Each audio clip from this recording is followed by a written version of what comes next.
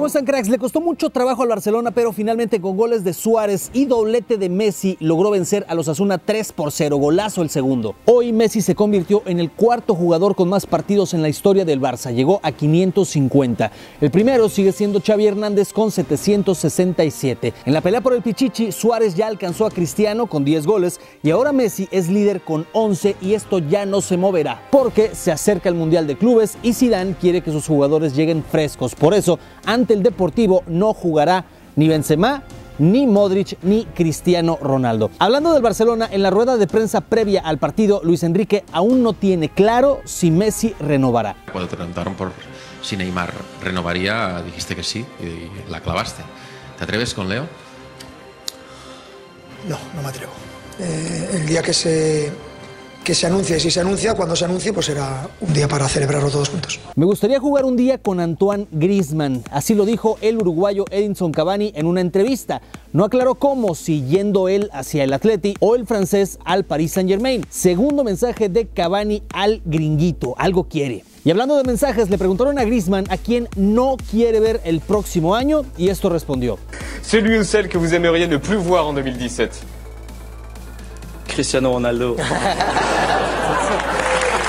Pues como vemos, el delantero del Atleti sigue en este tono de broma hacia el portugués, a quien también de broma le dijo que lo odiaba por haberle ganado la Champions y la Eurocopa. Continúan las revelaciones de Football Leaks sobre cosas llamativas, por decirlo de alguna manera, en contratos de futbolistas. Por ejemplo, de acuerdo con estos documentos, el Real Madrid pagó 16.3 millones de euros de comisión a la gente de Garrett Bale por su fichaje.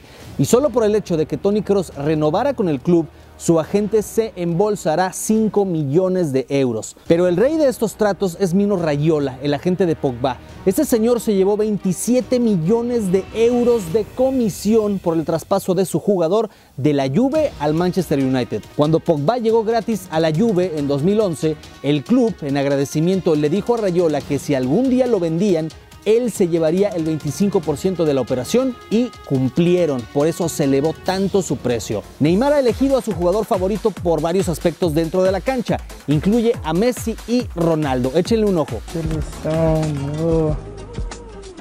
Ronaldo, porque tinha muitos craques, foi a que eu via, que eu lembro e, e fui campeão. Primeiro toque, Romário. Porque foi o primeiro toque, o primeiro passe que, que eu recebi né, de, um, de um astro do futebol para fazer um, um gol. A técnica do Messi para ser o melhor do mundo. A força do Ronaldo, pela explosão, pela força de, de decidir as jogadas, a rapidez e tudo. A visão do Ronaldinho Gaúcho? Pelas, habilidades, pelas habilidades e por conseguir achar passes que são praticamente impossíveis. O sentido de humor do Daniel Alves. Acho um cara espontâneo, feliz, né? E, e ele mesmo. Daniel Alves. Porque a moda que ele inventa. A forma natural. A forma natural do Iniesta. Ser um cara natural, tranquilo, que é natural jogando e é natural fora de campo. Então, nesta. Corte de cabelo, acho que vou ficar comigo mesmo, já tive muitos, então tenho um montão por aí. Y para despedirnos, es un hecho, habrá partido Barcelona contra Chapecoense. El club brasileño aceptó la invitación para jugar el Joan Gamper en agosto del próximo año. Por cierto, Wagner Mancini es el nuevo técnico del Chapecoense. Su último club fue el Botafogo. Como ya se enteraron, el nuevo estadio del Atleti que usará a partir de la próxima temporada se llama Wanda Metropolitano. ¿Por qué ese nombre?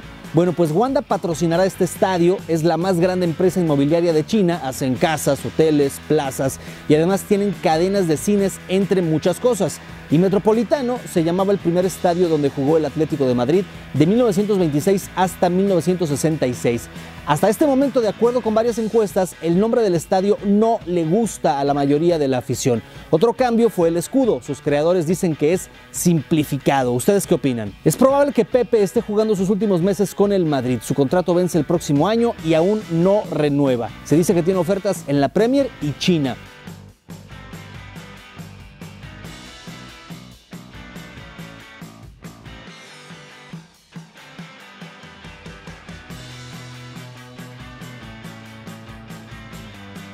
Eso es todo por hoy, cracks. Muchas gracias por acompañarnos en este video, por darle su respectivo like, por compartirlo y si eres nuevo te doy la bienvenida a esta grandísima comunidad de verdaderos fanáticos del mejor fútbol. Nosotros nos vemos en el próximo video. Jugábamos con la pelota en el barrio, en el sur de la ciudad. Éramos pibes.